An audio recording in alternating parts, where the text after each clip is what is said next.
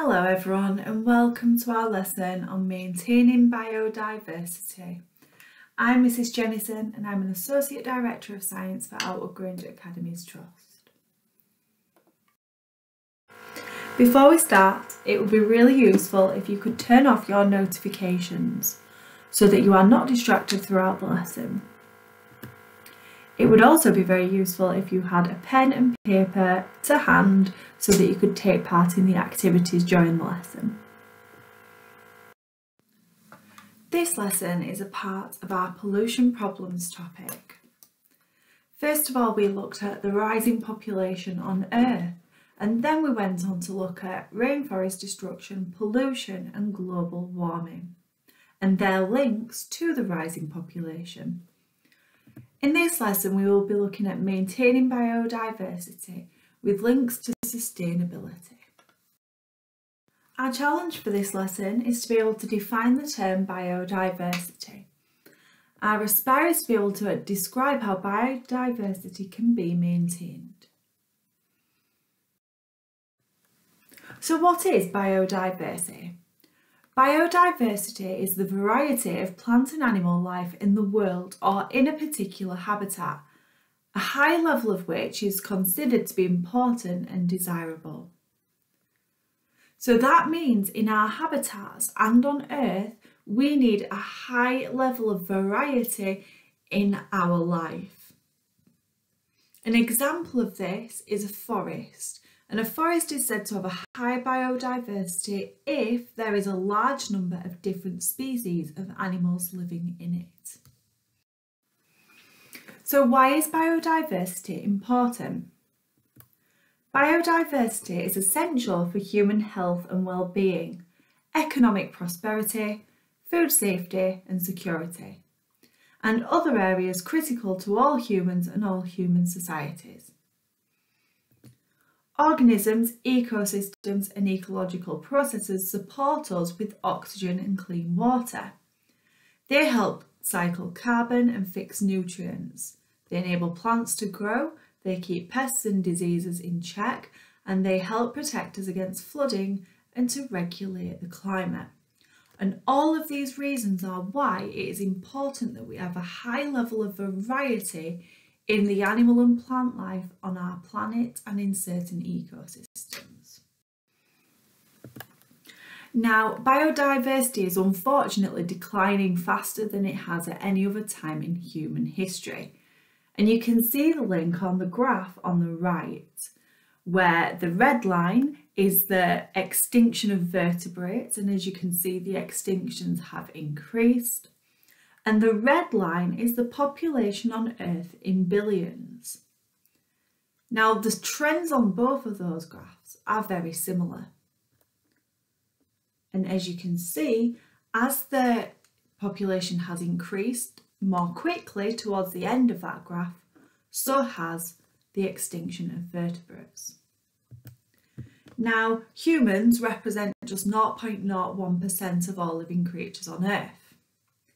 But humans have caused eight, the loss of 83% of wild mammals and half of plants in just the last 100 years, which is a really worrying statistic. And it's all due to how we grow food, produce energy, dispose of waste and consume resources. The way in which we do that is destroying nature's delicate balance. And that all species, including ours, depend on that for survival.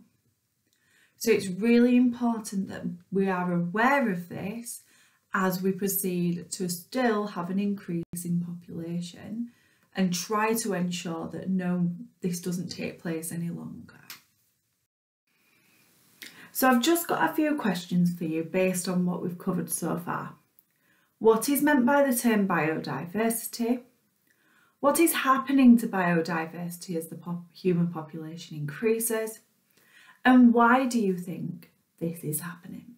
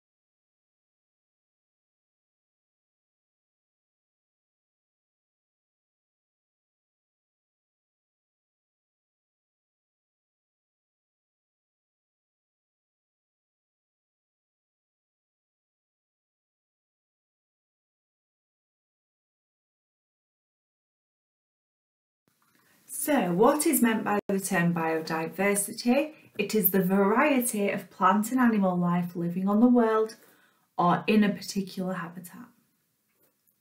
What is happening to biodiversity as the population increases? It's decreasing. There are more extinctions as the human population increases. Now, if your extinction levels increase, that's decreasing your biodiversity. Why do we think this is happening? It's due to our consumption of Earth's resources. And a few examples are things such as farming, pollution and waste disposal. So now we're going to look at a few examples of our effect on biodiversity and some of the specific things humans have done which have led to a decrease in biodiversity. Because actually, before we can describe how to maintain biodiversity, we need to know how we are affecting it. So the first one we're going to look at is hunting. Now, Hunting, yes, but more specifically overhunting, which means that we are hunting animals at a rate which is quicker than they are reproducing. So they aren't repopulating as we hunt. Um, and killing animals will obviously reduce their numbers and endangers their species. And there are some examples of which humans overhunting has led to the extinction of certain animals um, and I'm also going to include some which are at risk. So the first examples are woolly mammoths. Um, woolly mammoths went extinct around 40, uh, 4,000 years ago and some of the reasons for that would be humans hunting them. Caspian tigers um, went extinct between 1954 and 1959. They're not sure of the exact date um, because obviously these animals were wild.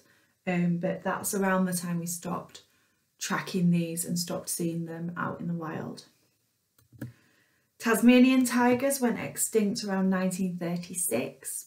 Both of these examples were hunted and the dodo. So the dodo went extinct in the mid late in mid late 17th century. Um, there's several reasons for that, but we do think that uh, hunting was one of the causes. Now, a couple that are at risk of extinction at the moment, so polar bears, um, there's several reasons for this, but one of the reasons is hunting.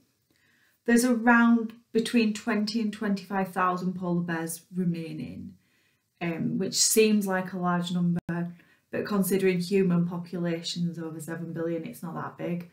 Um, so there's not that many polar bears left. And Mediterranean monk seals, they're not extinct yet, but we think there's fewer than 600 of these remaining. So they're just some of the examples of hunting causing or nearly causing the extinction of animals. So habitat loss. Um, habitat loss is a big driver of extinction. Um, often habitats are demolished for example, to make way for buildings and roads and farms. So that is one way in which we are causing the extinction of these animals by essentially destroying their home. A specific type of habitat loss is deforestation. Um, I've just put an image on the screen there for you where you can see that a large patch of forest has been cut down to make way for farming in that case. Um, and an example that's specific to the UK uh, the UK has lost a quarter of its hedgerows in the last 50 years, but hedgerows are a quite vital ecosystem on in, in our country. They contain a vast array of wildlife, including many endangered species, and they increase biodiversity. So removing hedgerows destroys their habitats and some incentives have been put in place to protect those hedgerows now to ensure that those species do not become extinct.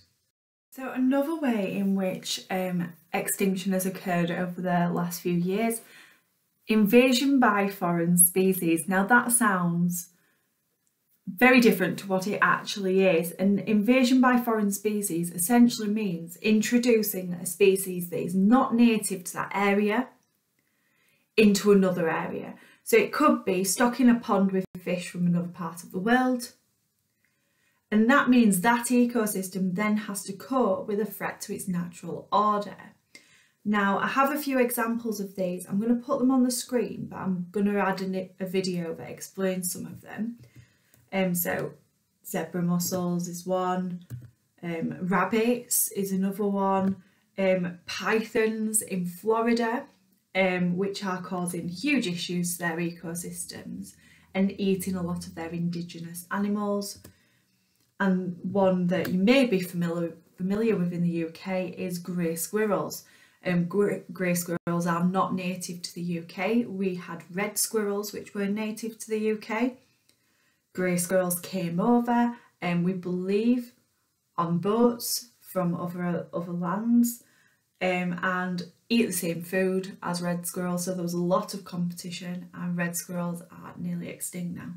So I'm going to insert that video now which goes through a few more examples and how they've affected different ecosystems.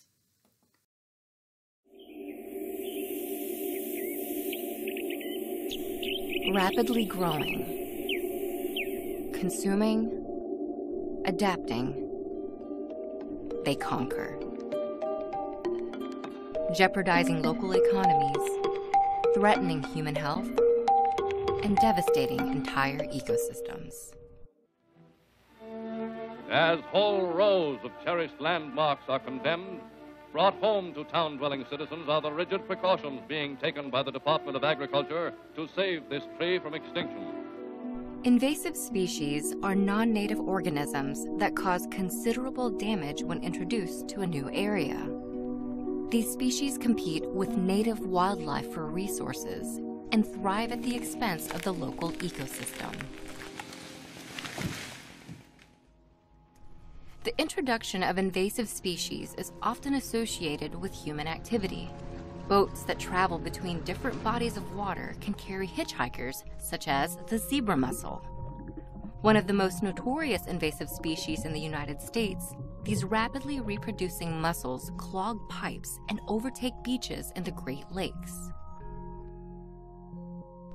Some invasive species, however, are introduced intentionally. In the early 20th century, cane toads were brought to Australia as a form of pest control. Today, these poisonous amphibians number in the millions and have caused a decline in native predators on the island. It's not just animals. Bacteria, fungi, and plants can also become invasive.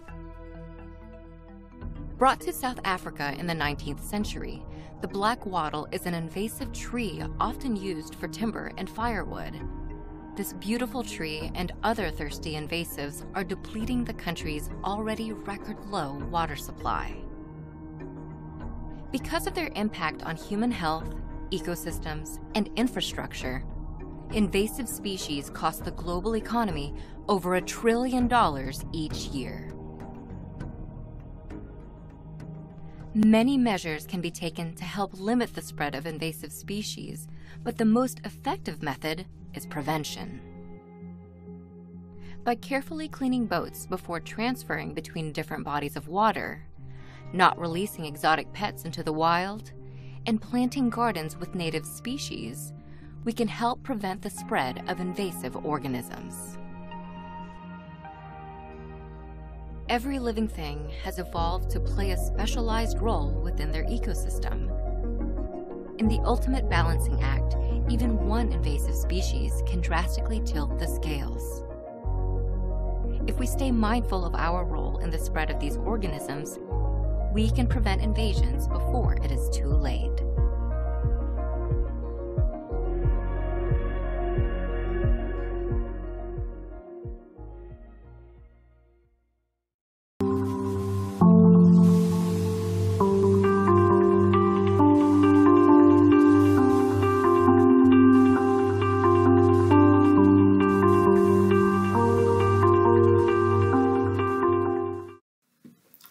So you will probably not be surprised to see pollution being mentioned during this lesson, especially as we looked at it in a previous lesson.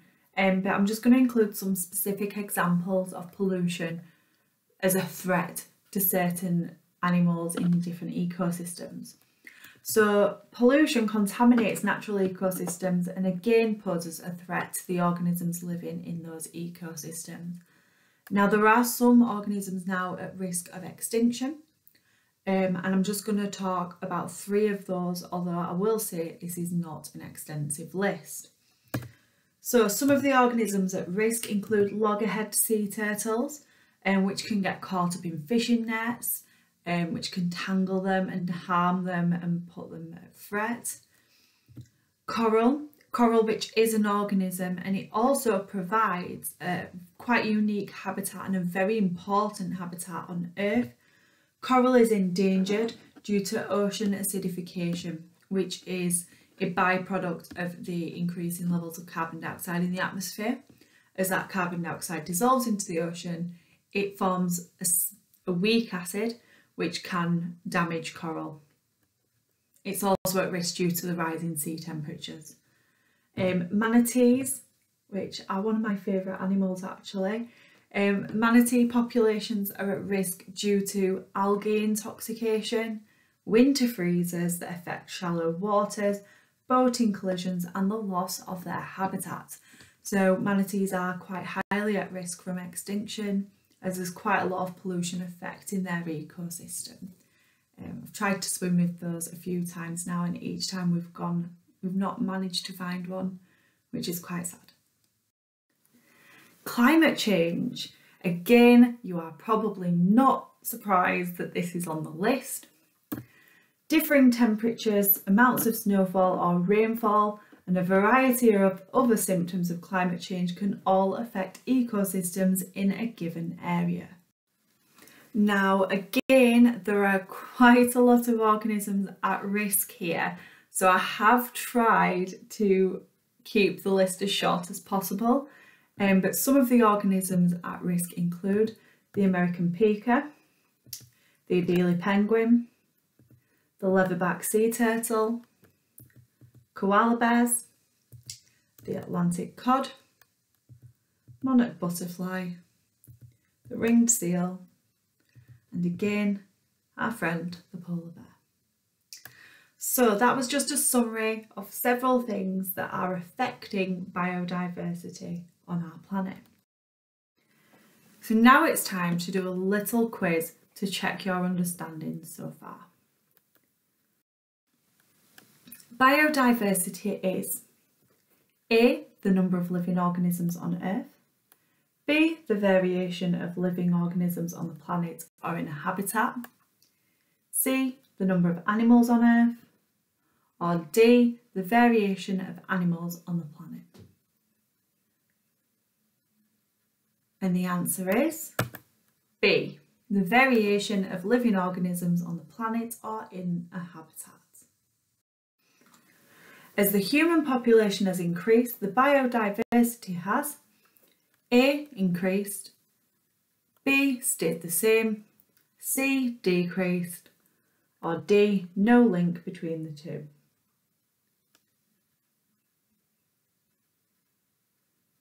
And the answer is C. Decreased.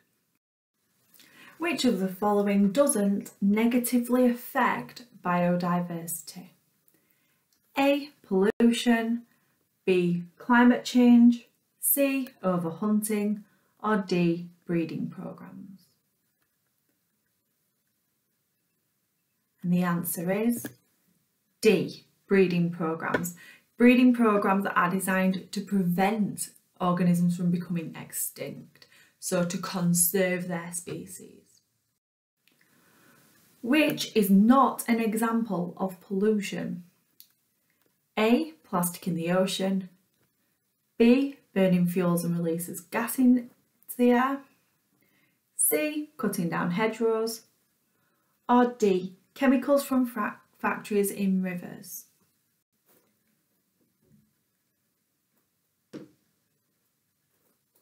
And the answer is C, cutting down hedgerows. Invasive species can cause, and I want you to pick two on this one, A, a strain on natural resources, B. New mating partners for current organisms. C. Increased tourism. Or D. Introducing new predators to areas. And the answer is D and A. It can cause a strain on natural resources and can introduce predators into the areas. So I'm going to give you a slightly longer question to have a go at. Um, and first, before I give you some time to do it, I'm going to ask you to bug the question with me. So the first thing we need to do is we need to box the command word and we're being asked to describe.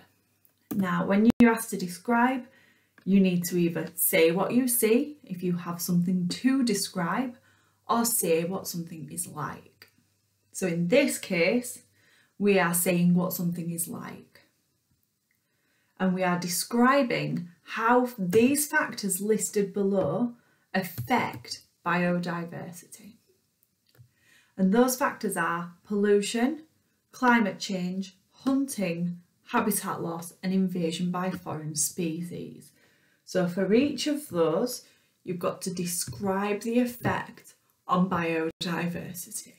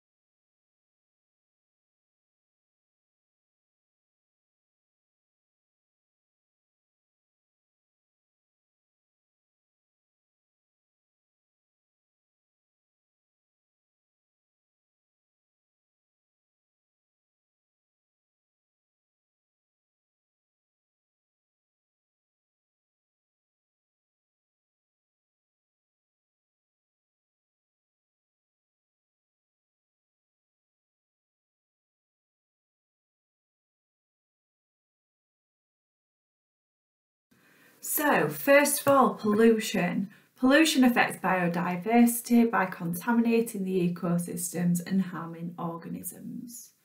I have included an example of plastics in there. Climate change affects biodiversity by changing conditions in certain habitats and making them in inhabitable for those animals. And again, I've put some examples in there. Overhunting affects biodiversity as it's killing large amounts of animals and their population can't recover. Habitat loss, by destroying habitats you decrease the area in which the organisms can live. That often forces them to move and compete for resources.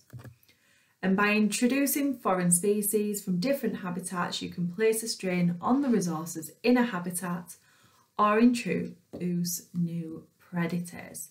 So that's some examples for you to check your answer against. And we are going to continue looking at biodiversity in our next lesson.